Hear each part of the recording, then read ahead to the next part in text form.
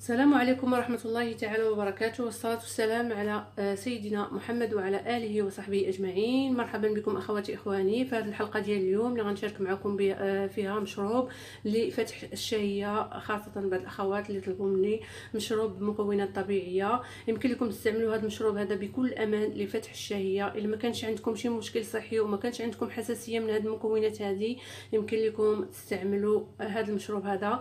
هذا المشروب بالنسبة للمرأة الحامل فهو ممنوع بتاتا وبالنسبة للناس اللي كيعانوا من أمراض مزمنة آه، قبل ما يستعملوا شي وصفة دائما كنوصيكم باستشارة تاع الطبيب آه، باش ما تأذيوش نفوسكم أحبائي الأعزاء. أما الناس اللي ما كيعانوا حتى شي مشكل وعندهم فقدان الشهية يمكن لهم يستعملوا هذا المشروب هذا بكل أمان لفتح الشهية والزيادة في الوزن وعلاج النحافة المفرطة.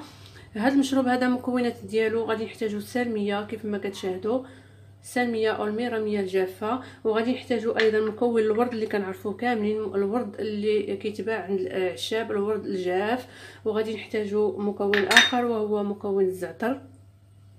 أي نوع ديال الزعتر؟ يمكن لكم تستعملوه في هذه الوصفة هذه الزعتر فهو ما كيخليش انتفاخات والغازات عندنا في البطن ديالنا وكيفتح لنا الشهية بواحد الطريقة جميلة بزاف وطبيعية.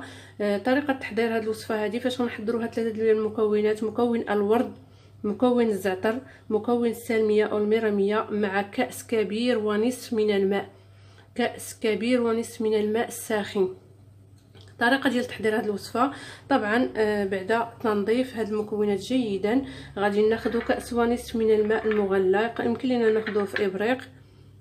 كيف ما كتشاهدوا كاس ونصف من الماء المغلى كيف ما كتشاهدوا أنا قمت بغلي هاد آه، الماء هذا. نقوم بإضافة آه، ورقتين من أوراق الميرامية لهذا الماء ديالنا. ونقوم بإضافة نصف ملعقة صغيرة من الورد الجاف. نصف ملعقة صغيرة فهي كافية.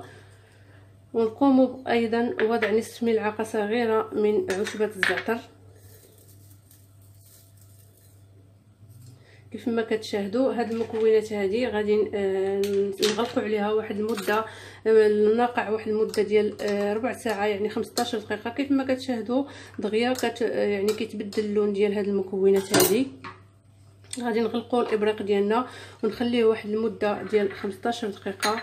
ومن بعد أحبائي الأعزاء نبدأو نتناولوا هذا المشروب هذا نتناولوا منه نصف كأس صغير فهو كافي بحال هذا الشكل هذا يعني ما نكثروش منه. نصف كاس صغير ديال الشاي ديالنا.